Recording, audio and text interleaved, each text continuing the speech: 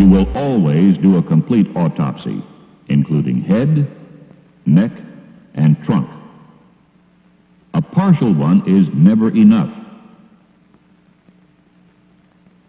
When you begin the internal examination, make the usual Y-shaped incision. Here are some pointers to keep in mind.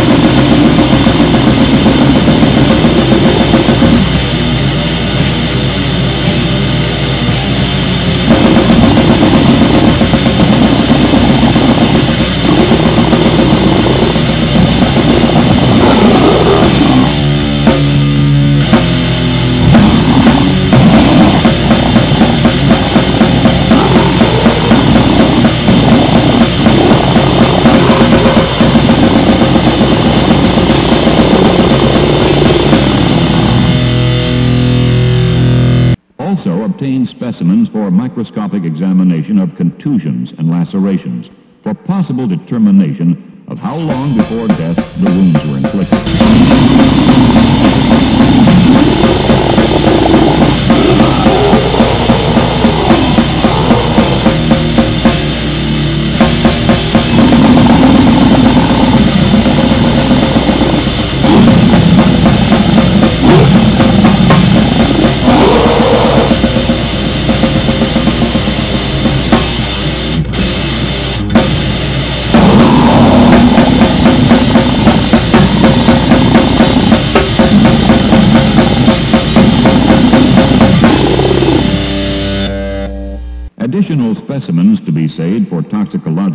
Analysis are liver, kidney, brain, lung, and gastric contents.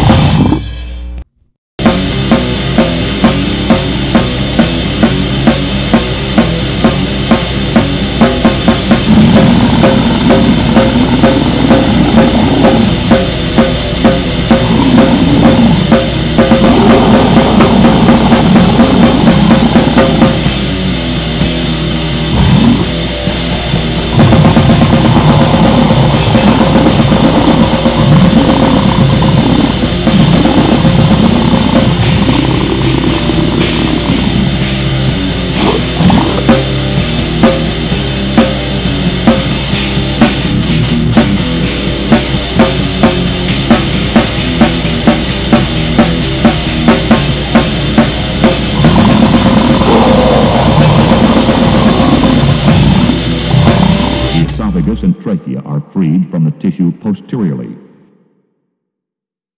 A Pennsylvania road rage incident turned very unsanitary after police say a New Tripoli man defecated on the other person. This is absolutely not cool.